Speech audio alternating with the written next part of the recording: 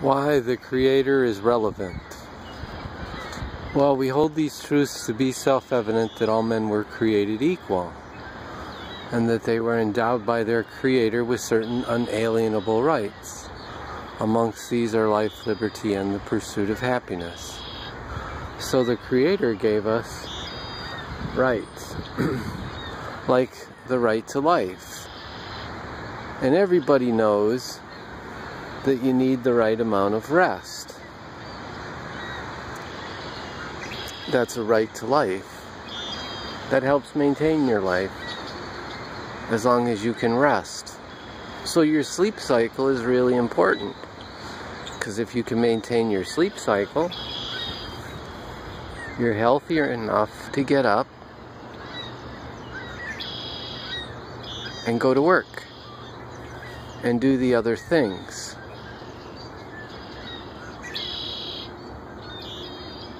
Now, Jesus said in the beginning he made them male and female.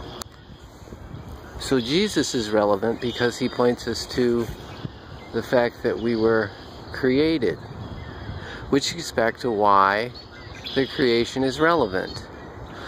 Jesus also taught, Come to me, and I will give you rest. So, Jesus taught about the Creator, and Jesus also taught about having rest. And of course, everything in nature rests. The trees rest. These were dormant this uh, winter. And soon, if you look, there'll be buds. And people rest at night. And different creatures rest at different times. So that's another reason why the creation or the creator is relevant because we will have rest. We'll be able to sleep. We'll be able to be refreshed and renewed so we can go to work.